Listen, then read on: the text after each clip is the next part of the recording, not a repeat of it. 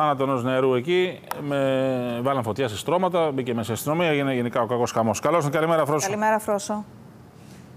Σήμερα εκτονώθηκε ευτυχώς η ένταση, ανακτήθηκε η φυλακή μετά από την παρέμβαση της αστυνομίας. Περιορίστηκε βεβαίως η φωτιά, οι τέσσερις αιστείες φωτιάς από στρώματα που έβαλαν οι κρατούμενοι.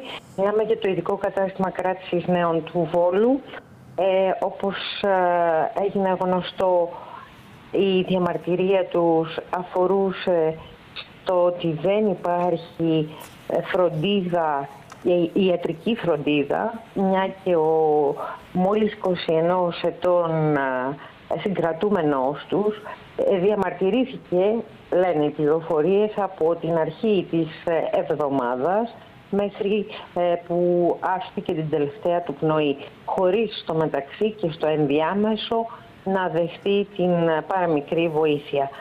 Βεβαίως ε, την Τρίτη που θα γίνει η ιατροδικαστική εξέταση, νεκροψία, νεκροτομή, θα γνωρίσουμε και τα ακριβή αίτια, αλλά για την ώρα ε, μιλάμε για ανακοπή καρδιάς.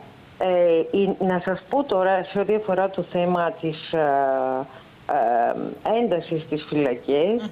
Οι πληροφορίες χθες ε, αργά το βράδυ έλεγαν ότι οι κρατούμενοι θα προχωρήσουν σε απεργία πείνα συνεχίζοντας την διαμαρτυρία τους για καλύτερες συνθήκες διαβίωσης στη φυλακή, για καλύτερη ιατροφαρμακευτική φροντίδα ε, και απαιτούν να μάθουν γιατί δεν χορηγήθηκε βοήθεια όλη την περασμένη εβδομάδα ε, στον συγκρατούμενό τους με αποτέλεσμα να χάσει τη ζωή του ε, προχθές το απόγευμα. Μάλιστα, πρόκειται για